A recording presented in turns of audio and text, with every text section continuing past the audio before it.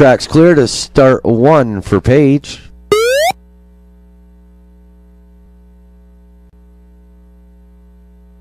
So let in from start one. This is Paige Alford representing Team France.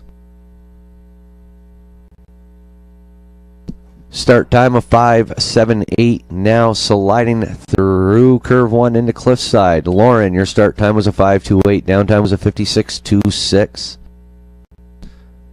Sliding into Whiteface and entering the Devil's Highway at 21, 8, 9, 8 tenths behind the pace set by Katie.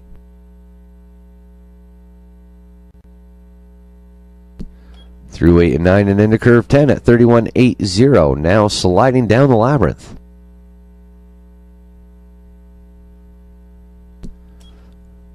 Coming into Benham's Bend.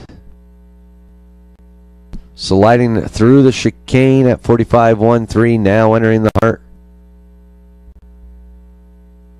Through 18. Coming up curve 19. And crossing the finish line with a downtime of 58